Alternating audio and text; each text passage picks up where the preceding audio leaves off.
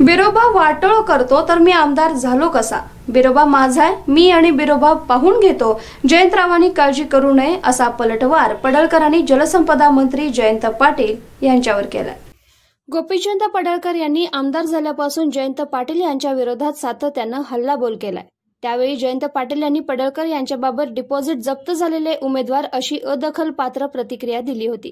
पहिल्यांदाच त्यांनी पडळकर यांना कोपरखळी हाणण्याची संधी बिरोबा बनात आरेवाडी इथं साधली. आमदार पडळकर यांनी लोकसभा निवडणुकीत वंचित बहुजन आघाडीची उमेदवारी घेतली होती. तळी प्रचार सभेत बिरोबाची शपथ घेत मी कधीही भाजपामध्ये जाणार नाही. बिरोबाची शपथ घेऊन सांगतो भाजपामध्ये गेलो तर मला मत देऊ नका असं जाहीरही केलं होतं. निवडणुकीत ते पराभूत झाले त्यानंतर काही महिन्यांमध्येच भाजपामध्ये प्रवेश घेतला. ते विधान परिषदेचे आमदार झाले तेव्हापासून त्यांच्यावर खोटी शपथ या मुद्द्यावरून हल्लाबोल होत आहे. जयंत पाटील यांनीही याच मुद्द्यावरून निशाणा साधला होता. मात्र यावर पडळकर यांनी जोरदार पलटवार केला. बिरोबा माझा आहे आमचे आम्ही बघून घेतो बिरोबा वाटोळ करतो तर मग मी आमदार झालो कसा असा सवालही त्यांनी उपस्थित केला. आता दुसरे सगळे टपून बसले होते. जयंत पाटील सगळ्यात खुश होता गडी की आता अनिल देशमुख गेले आता माझा नंबर लागणार.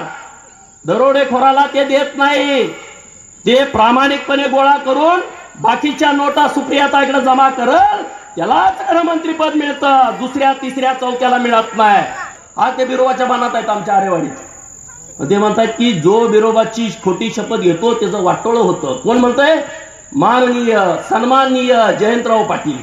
आज बिरोबा अरे बिरोबा माझा आहे मी बघून घेतो ना. बिरोबाची हीच शक्ती आहे की अख्खा महाराष्ट्र सगळा बिरोबा बिरोबा बिरोबा टीव्हीवरती बिरोबा चॅनेलवरती बिरोबा सगळा बिरोबा बिरोबा करतोय. हीच बिरोबाची मोठी शक्ती आहे. मी चुकलो तर बिरोबा माफ करेल. बरोबर असेल तर पाठीशी राहील. अरे बिरोबा मला कसं काय आमदार कसं काय करतोय? बिरोबाची ताकद असल्याशिवाय मी आमदार झालो का? बिरोबाचा आशीर्वाद असला का माझ्या मागे कोण माणूस नाही?